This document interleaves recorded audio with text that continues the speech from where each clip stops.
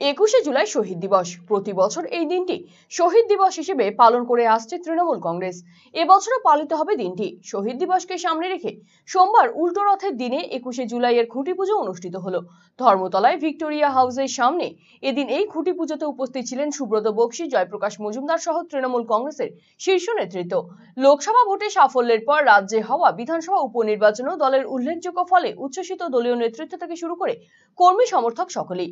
ফলে এবারের একুশে জুলাই শহীদ দিবস যে অন্য মাত্রা পেতে চলেছে তা বলার অপেক্ষা রাখে না। ফলে শহীদ দিবস পালনকে ঘিরে এখন শুরু হয়ে গিয়েছে জোর প্রস্তুতি।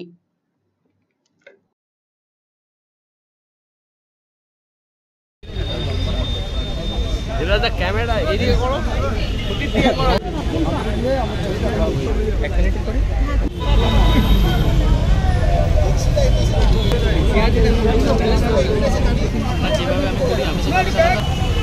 ওইভাবে হবে না লাগানো ভুল হয়ে গেছে। ওইটা এখানটাই লাগানো